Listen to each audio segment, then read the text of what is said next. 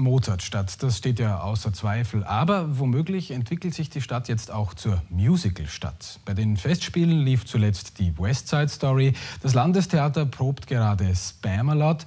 Und in der Salzburger Arena gastiert momentan das Udo Jürgens Musical Ich war noch niemals in New York. Ist Salzburg also im Musicalfieber? Eva Hallus hat nachgefragt.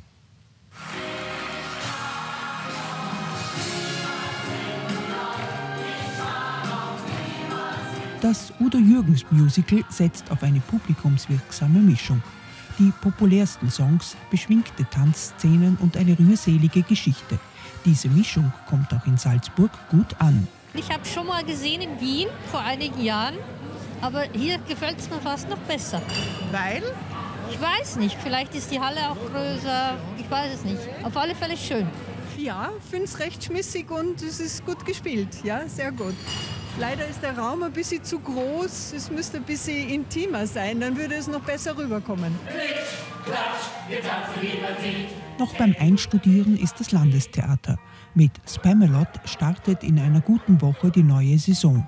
Für Monty Pythons Version der König Artus-Sage gibt es ein eigenes Musical-Ensemble.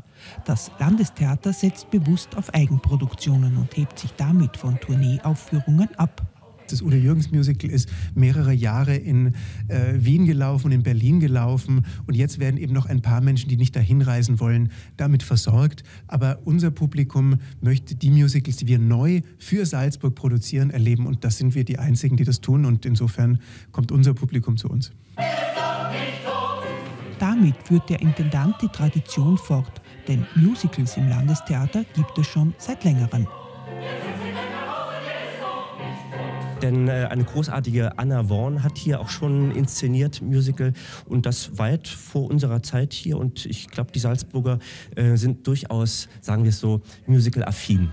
Sound of Music hat das Landestheater schließlich schon vor fünf Jahren herausgebracht und das Stück ist immer noch nachgefragt.